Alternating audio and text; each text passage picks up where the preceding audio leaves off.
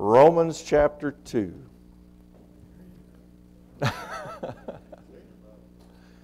Let's start off with a question this morning.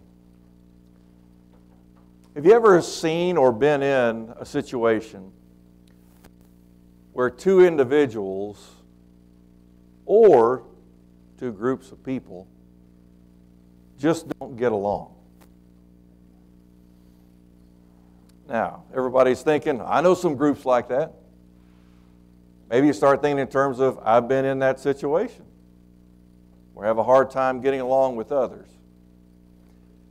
How many times in the midst of those situations, they can be among long-time friendships, they can be in marriages, they can be in communities. How often, in the midst of those situations, if we find ourselves in them, do we look at ourselves as being the problem? Who do we usually want to point the finger at first? It's always because of them. Usually, we think in terms of if they would just change, this would be easy. If you notice it here in the book of Romans, we've talked a little bit about this in the past of the setting. The Jews were there, the Jewish Christians established a congregation of the Lord's people, the saints there in Rome. And then Emperor Claudius came along. And he told all the Jews they had to leave. It didn't matter whether they were Christians or not, every Jew had to leave Rome. And so, as part of that, the Gentiles had started to become converted. And so they were there, but as some might think, they were left unattended. They weren't familiar with the Old Testament scriptures. And so here were all the Jewish Christians, along with the Jews who had no relationship with Jesus. They were all being cast out of Rome. And so the Gentiles, they kept on worshiping God with everything that they knew. And then, as the Roman Caesar Claudius died and his laws kind of went with him, all of a sudden, some Jewish Christians come back to Rome. And they kind of start looking around and going, You guys are so unorthodox you don't, you don't do things right. Because they still had all these things from the Old Testament governing their minds. Now, as the book unfolds and comes together, Paul's going to show them, oh, you think, you think the other ones are the problem, huh? For the Gentile Christians, they were looking at the Jewish Christians and say, you know, if they would just change, things would be a lot easier. Gentile Christians were looking at the Jewish Christians who had just come back and saying, What's wrong with you all? Paul brings it all together.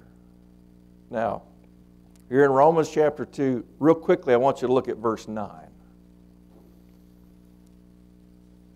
He says, There will be tribulation and distress for every soul of man who does evil, for the Jew first and also of the Greek.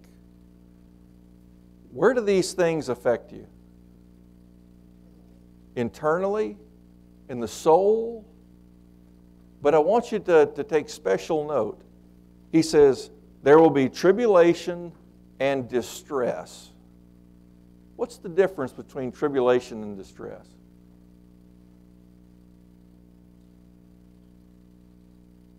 Where does distress hit you? Inside. Tribulation, where does it affect you? Outside as well. Now, how did these tribulations and distresses come? They came against every soul, and why? Who does evil. Now, real quickly, turn back to Romans chapter 1. Look at verse 18. For the wrath of God is revealed from heaven against all ungodliness and unrighteousness of men who suppress the truth in unrighteousness. When is the wrath of God revealed? Who is it revealed against? Those who suppress the truth, he says, unrighteous, ungodly. And he says, and it is revealed now. So whenever you look over at Romans chapter 2 and you see verse 9, he says, There will be tribulation and distress for every soul who does evil. So is the wrath of God something for far off later? Present. Correct? Now, he says, For every soul of man who does evil. I want you to kind of think about this for a second. Whenever you make evil choices, do you find tribulation? Let, let's kind of put this in a setting. Let's present day setting for a moment. Whenever you lie to your boss, are you about to bring tribulation on yourself? All right? Now, it says, depends on if you get caught. Now, here comes to the second part, even if you don't get caught. What hits you on the inside? Distress. Now, does this mean every tribulation is because of evil? No. But notice here, this is what evil pays out. We'll make our own trouble. You ever heard somebody say, oh, they're their own worst enemy? Why? You do evil, here comes tribulation and distress. So it affects you on the inside. How far down does it go? To the very soul. Now, is this different for Jews and Greeks? it doesn't matter who you are. Doesn't matter if you're Jew or Greek. Then, look down at verse 11, same chapter, Romans 2:11. For there is no partiality with God. Is God partial in how he does this? Does he say, well, if you're a Jew, I do it this way. If you're a Gentile, I do it this way. He says, no, this is the way it always works. Tribulation and distress upon every soul who does evil. And notice it says does. It's not even an ongoing, a continuation. So, he says, and there's no partiality with God. Why is God not partial? He's righteous. Now, I'm going to flash forward for just a second so that we can make sure and see it as we go through this passage. Romans chapter 3. Look over at verse 22. You kind of pick up in the middle of a thought here, but he says, Even the righteousness of God through faith in Jesus Christ, for all those who believe for there is no distinction. Now, righteousness, is there a distinction on that side? We see there's no distinction on the wrath side in chapter 2. Is there a distinction on the righteous side? No. Then notice verse 23. Why is there no distinction? You read it and tell me. For all have sinned and fall short of the glory of God. Is it pretty easy for God to show no distinction? Everybody falls under the same category, right? Whenever we become of age where we can make our own choices and we choose sin over righteousness, God says, no distinction. Now, we start to look at that, and we can pretty quickly see okay, there's no distinction. We, we get that. God's not distinct in terms of whether He's revealing wrath whether it be internal or external. He has not shown distinction in terms of righteousness when it comes through Jesus, whether you're a Jew or a Gentile. Quickly you see about God, He is not partial. If you've ever thought in terms, yeah, I've done what's wrong, but God's going to be okay with me, what are you not seeing? The righteousness of God, that He's not partial. Well, it's okay for me, but it's not okay for you. What is that? Partiality. Now, this is what was going on among the Jews and the Gentiles, the saints in Rome. Now, look at verse 12. Romans chapter 2, verse 12. For all who have sinned without the law will also perish without the law and all who have sinned under the law will be judged by the law. Now, What's the conclusion of these things? All have to pay the penalty. God's not partial. He says, All who have sinned without the law. Now, who would that be? Gentiles. He says, will also perish without the law. He says, And all who have sinned under the law will be judged by the law. Who are those who are under the law? Jews. Now, notice, little different, but the same. Then, if you, if you take the note here, he says, All who have sinned without the law will also perish without the law. And the idea of perish is not only to die, it's actually the idea of and to suffer for it. Sometimes we just say, oh, they perished in the, in the car accident. Well, we're saying they died and they suffered at it too. I'm not saying it's because of sin, but just the way we use the words. Then he says, Here they are. They're without the law. They're going to perish without the law. All who have sinned under the law will be judged by the law. The law is going to be the standard here. Then, verse 13. This is a special note for the Jewish Christians. He says, For it is not the hearers of the law who are just before God, but the doers of the law will be justified. What's the point?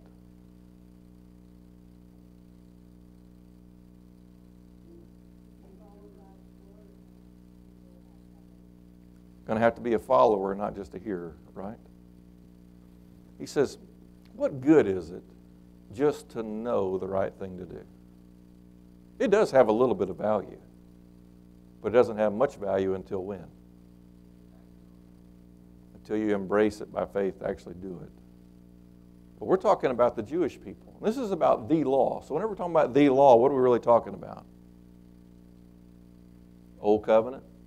Some people say the law of Moses. He says, it's not the hearers of the law who are just before God. What was going on among the Jewish people there in Rome? They had become a bunch of people who said, We're better than you because we have the law. You may be Gentile Christians, you don't know as much as us. Now, let's, let's get to some at home application. Let me give this to you, and you can, you can tie this in most of the way through the rest of the book. If you want to see this, because we go, you know what, we don't have a whole lot of Jews here, we don't have a lot of trouble with Gentiles. Let me tell you how this presents itself nowadays. There are some individuals who came to know Christ at a very young age. Maybe they were in their late teens, early 20s. And they have been able to know the Lord, to have Scripture put in front of them, maybe even by their parents, by a, a loved one, a friend. And they have come to take those things and let them shape them ever since they were young.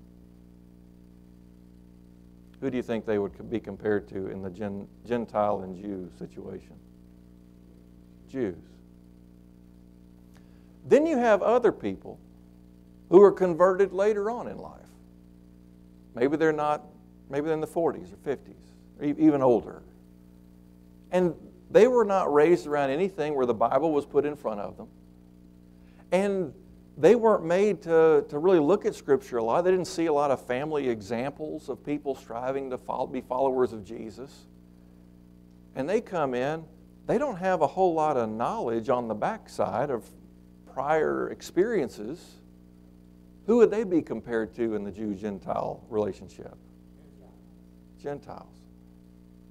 So realize some of these same principles would still apply in application. Is it easy for those who say, you know what, I've been reading the Bible all my life. My grandmother taught me this whenever from the time I was knee high to a grasshopper and say, and here you are coming in and you say this, who do you think you are? Oh. Maybe you have a Gentile who comes in and says, What? I don't know those things.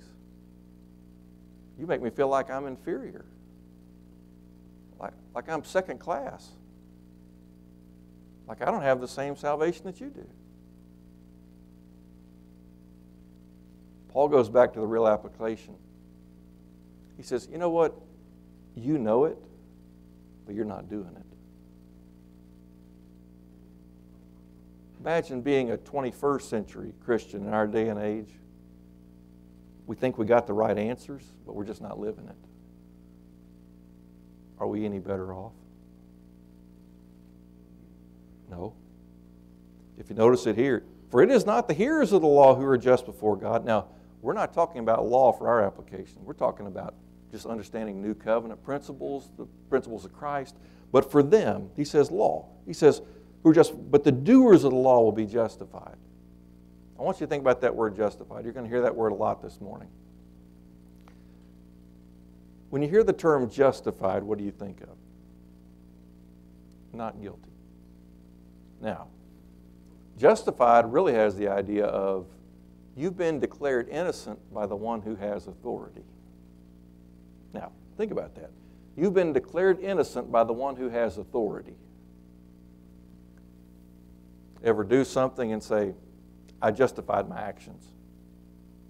Do you have authority to do that?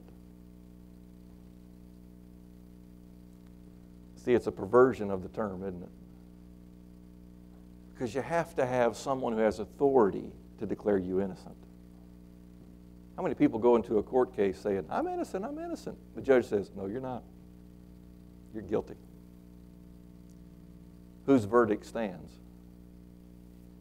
The one who has authority. So, he says, All right, it's the doers of the law will be justified. Now, here's the trouble. How many people in the history of planet Earth could keep the law? One. Now, I want you to think about what that says. Now, we're, we're going we're going to step away from Romans for just a second. Look over at the book of James. Look at James chapter 2.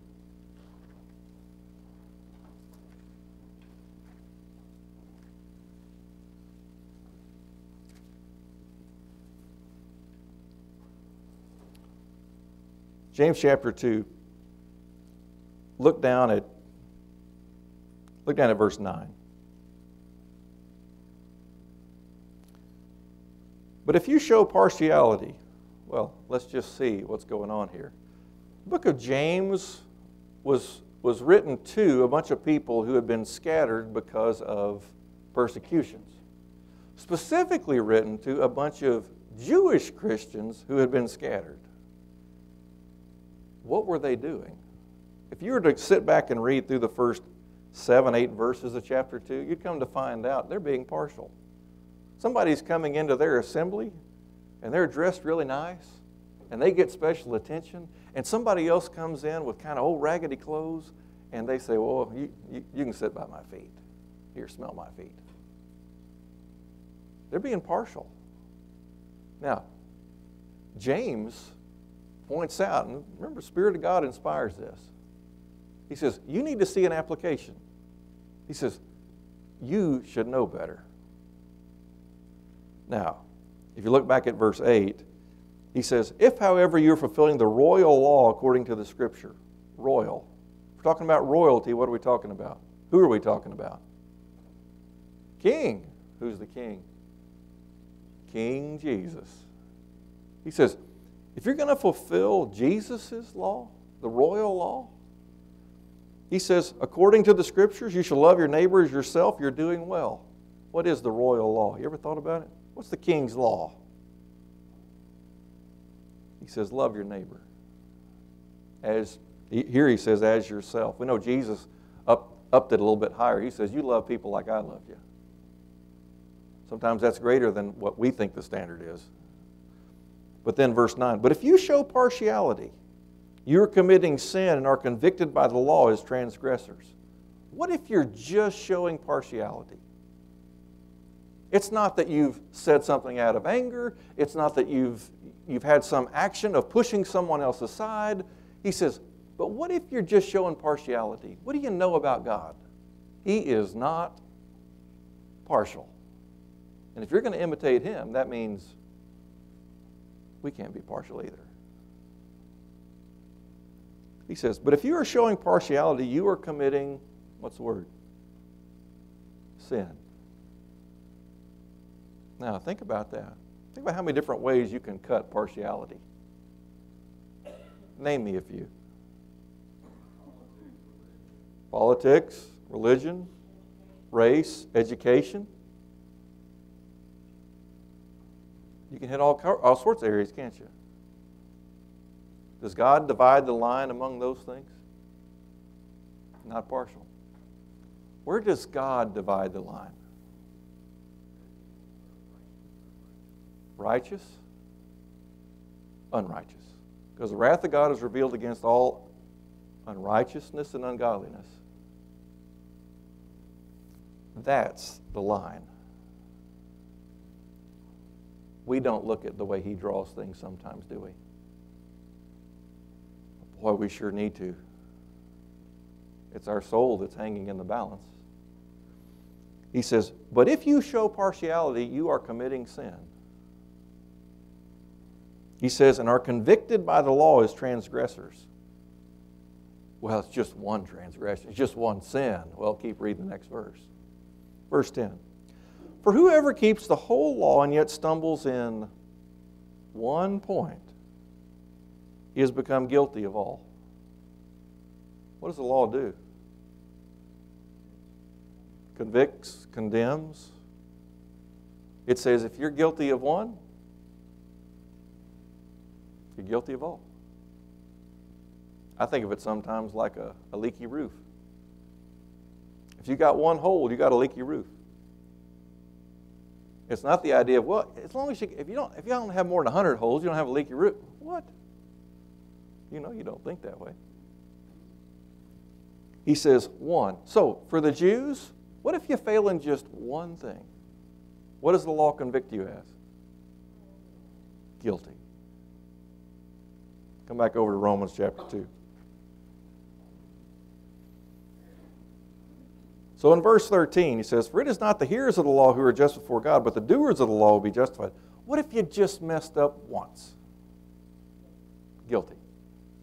Well, that's exactly what he said the law would do. It would judge you. Most people don't realize it. It's really more so in other places. Paul wrote to Timothy, he says, Do you realize the law is not for the righteous? He says the law always points out sin. Later on in Romans, he's going to say, so that we would know that sin is utterly sinful. We would see how against God it really is. Then, notice how this continues, verse 14. For when Gentiles, all right, well, we've dealt with the Jewish side.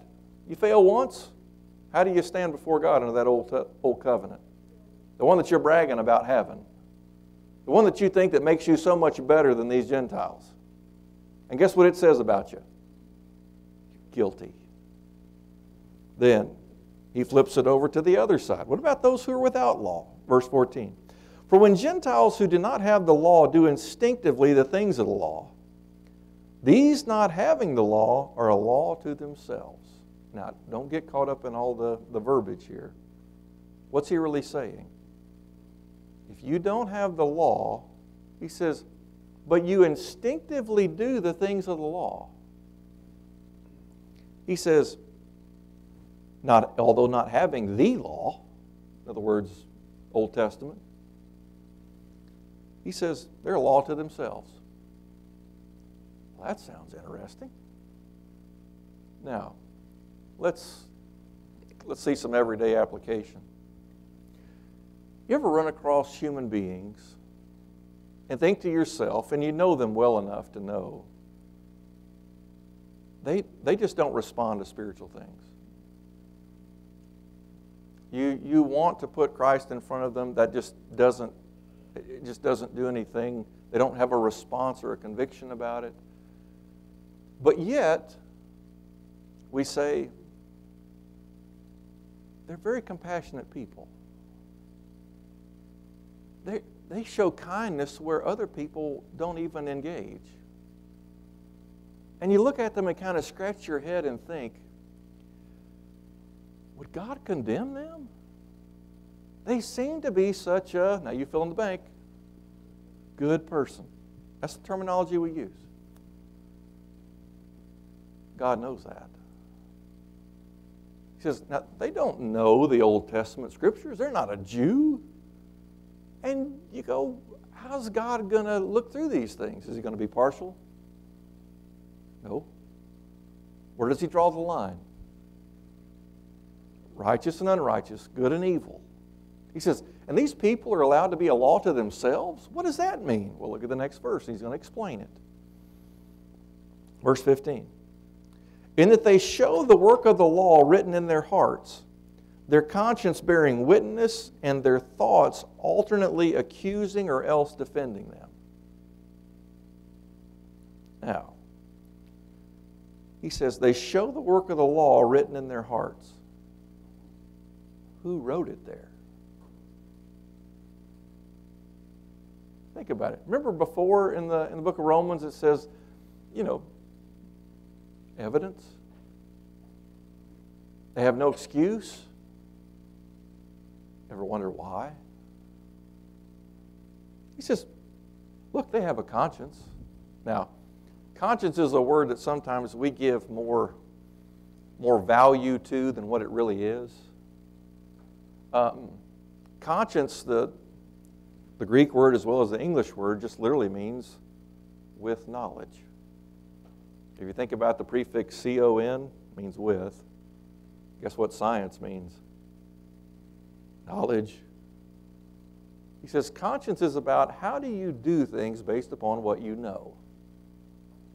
You ever had, excuse me, ever had a situation where you, you made a wrong move because you just didn't know the situation? Ever stuck your nose in a situation and thought, I should have just kept my mouth shut? Ever had that one? And you go, What's the problem? I didn't know anything. Oh, you mean your conscience didn't tell you to stop because you didn't know much, enough? Then you figured it out and you learned your lesson. Hopefully, don't do it so much anymore. Maybe even not at all. That'd be wonderful. But he says here, he says, they show the work of the law written in their hearts. What is God wanting from man?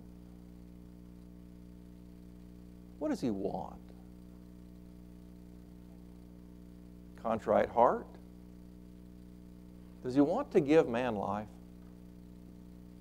Remember what this book's about. If you think back to chapter 1, he says, for the gospel is the power of God for salvation. He says, and I'm going to convict them. And what's he going to use against them? Their own thinking.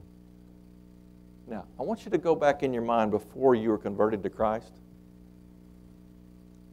Did you have a sense on some level? I'm not saying it's the same as what God's level was. but you have a sense on some level of right and wrong?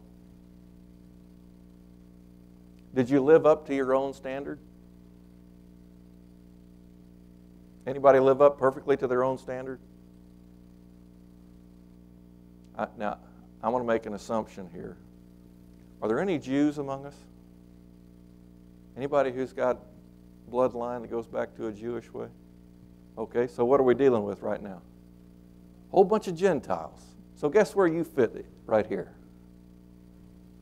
So, your conscience, whenever you would do something, would say, if you did something that you knew was wrong, when you lied, maybe we tried to manipulate a situation to get the outcome we wanted, and then it happened and it all blew up, what was your conscience telling you?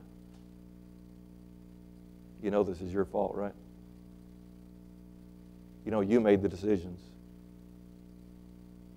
Look at what you've caused. The tribulation hit from the outside, the distress came from the inside. And what did you know about your status? Were you innocent or guilty? Guilty.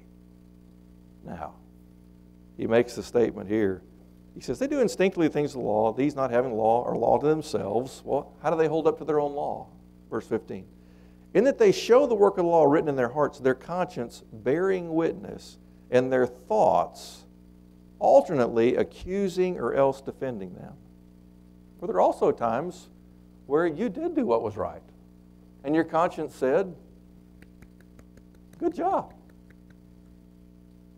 Your friends over here, they didn't do the right thing. You did good. I'm proud of you. But then the next time you did something wrong, what happened? Oh. Now, there's an extreme term that's used these days. It's a psychological term for this same thing. You ever heard the term bipolar? Polar ends. Sometimes a person is really, really happy. Why? They're doing good things in their mind, according to their own standard. And then they do something that's terrible. What happens? Guilt, guilt, guilt, guilt, guilt, guilt. And then it starts to happen where they feel guilty, but then they do something good and they feel good, but they feel guilty about feeling good because they know what they did. See how this works? How come the world doesn't have an answer for this? Because what has to be addressed? Sin. And when sin's are addressed, what happens? Now there has to be a conviction toward Christ. Because remember, the gospel is the power to save among how many people? All. And God's respecter of persons? Not at all. Now, see, you have to bring these things before God because He's the one who can deal with them. He's the one. What about whenever a man sits back and says, I'm innocent? Does he have the authority to proclaim himself innocent? No. Now, so take another look here in verse 15. He says, their conscience bearing witness.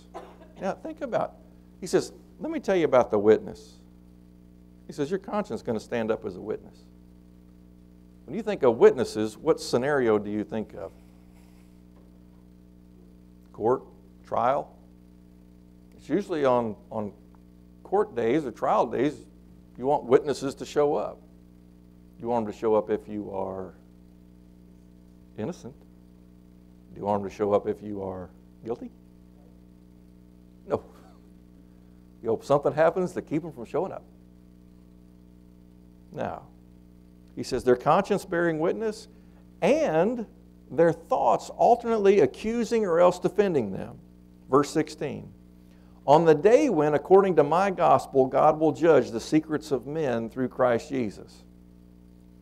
Who's going to be, you think of the scene of the, the judging here. He says, There's a day that's coming. He says, According to my gospel, here's the good news. Now, does that sound like good news to you? There's a day coming. He says, When according to my gospel, God will judge the secrets of men through Christ Jesus. Who knows your conscience? Jesus does.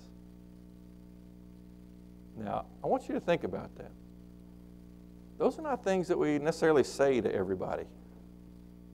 Somebody says, How, how are you doing today? My conscience is killing me.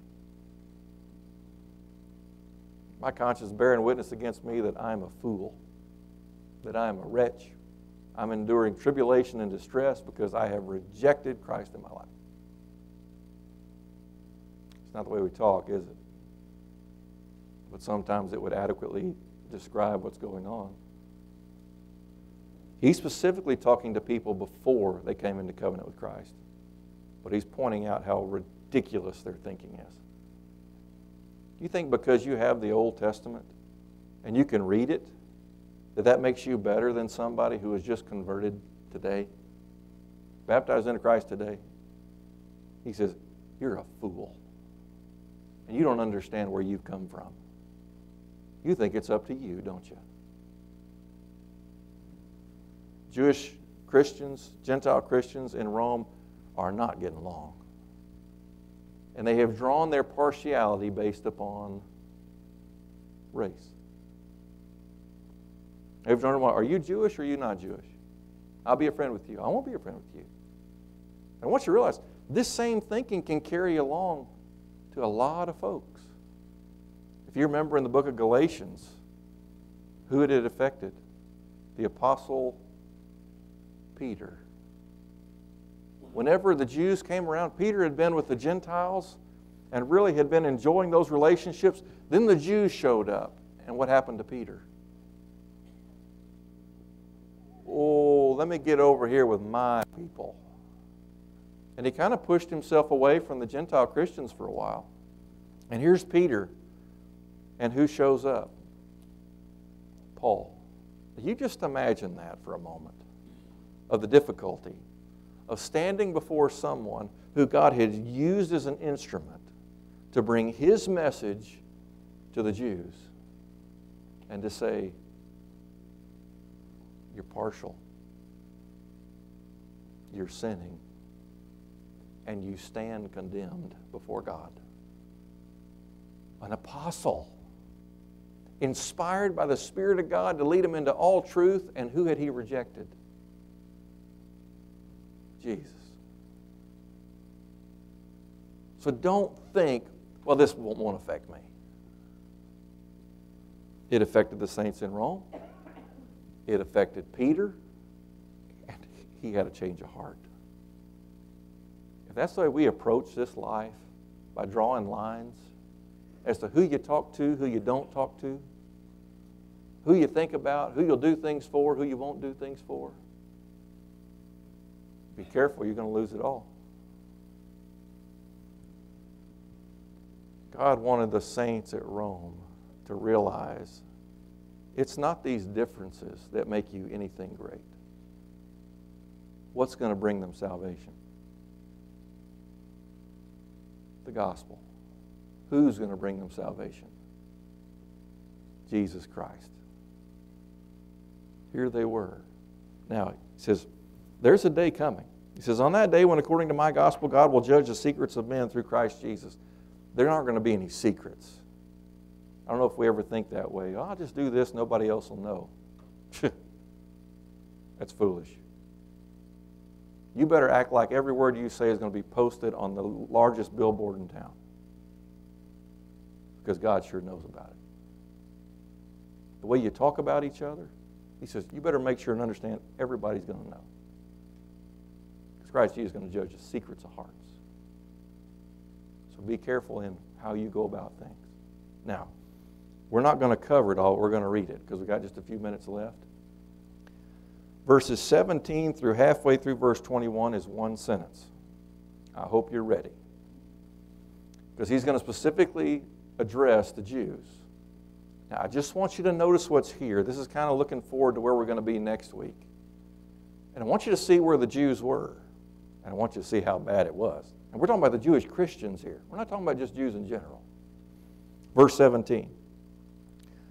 But if you bear the name Jew and rely upon the law and boast in God and know His will and approve the things that are essential, being instructed out of the law, and are confident that you yourselves are a guide to the blind, a light to those who are in darkness, a corrector of the foolish, a teacher of the immature, having in the law the embodiment of knowledge and of the truth. You, therefore, who teach another, do you not teach yourself?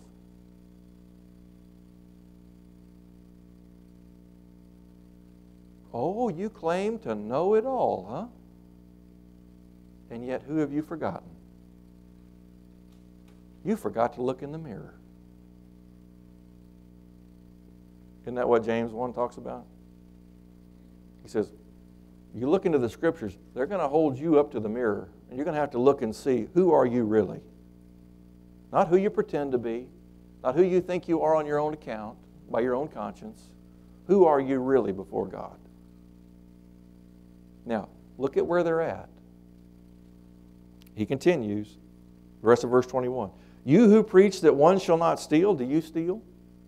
You who say that one should not commit adultery, do you commit adultery? You who abhor idols, do you rob temples? Now, by the way, when he's using these terms, they're rhetorical questions. Guess what they were doing? It's okay for me to rob, it's not okay for you Gentiles to rob. It's forgivable for me to commit adultery, but not you. Oh, you know what? I can go into the idols and do whatever I want. You, you need to stay out. That one's going to be addressed later in chapter 14. That's how bad it got. Now, that should tell us something. If we think that we're immune to becoming arrogant and prideful based upon knowledge, it's time to look in the mirror and look hard and let Jesus tell us what's going on, or else we'll die. But the gospel is good for all. And then what do you find in turning? Forgiveness and renewal of life in Christ. Lord willing, next week we'll come back. We'll pick up in verse 17. Because I don't expect you to remember that whole sentence on your own.